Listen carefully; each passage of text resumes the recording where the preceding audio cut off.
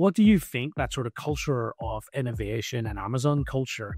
How does it rub off on the aerospace sector? How do they translate that in a meaningful way?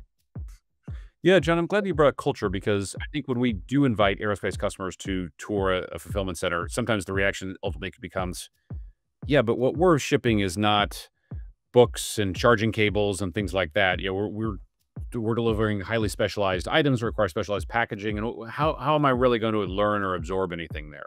Um, and so when we do bring customers there it isn't the idea that you can just copy and paste or lift and shift all the operations or the robotics or anything that, that happened in the fulfillment center into another environment. It really is 100% about culture and particularly the culture of data.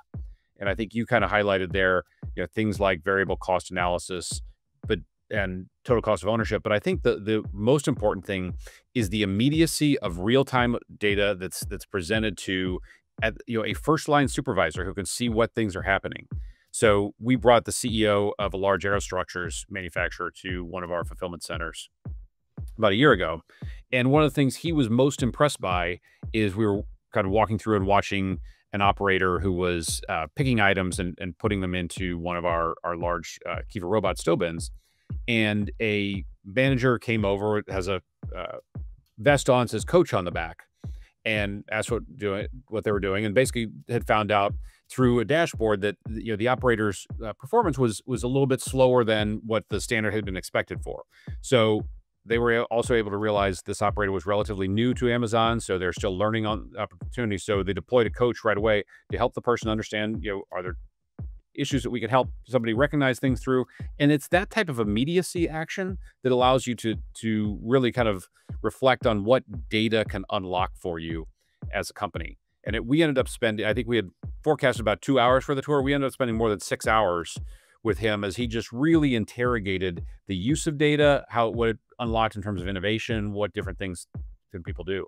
And you know when you go through a fulfillment center anybody who's had an Amazon package delivered, I, uh, I'm sure will recognize that you know, our packaging has changed. Everything used to come in a very standard corrugate cardboard box. Sometimes people would complain that you might buy an item that's this small and the box is this big. But what we've relied on because of that data is we've been able to shrink the amount of packaging. We've been able to shrink the amount of impact on the environment because we know so much more about form, fit, function of the of the product being delivered.